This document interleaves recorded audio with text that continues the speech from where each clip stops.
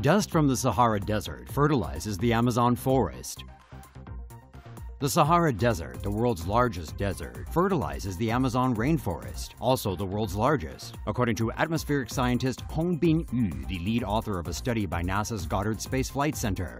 Each year, millions of tons of phosphorus-laden dust gets blown from the Sahara Desert to the Amazon rainforest by strong winds. About 182 million tons of dust, enough to fill 689,290 semi-trucks, are carried across the Atlantic Ocean, where about 27.7 million tons of dust, enough to fill some 104,908 semi-trucks, fall atop of the Amazon.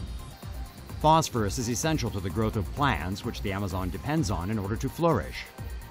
Most of the Amazon's phosphorus is washed away by rain into streams and out of the forest, but the amount lost, roughly 22,000 tons, is made up for by the dust from the Sahara Desert.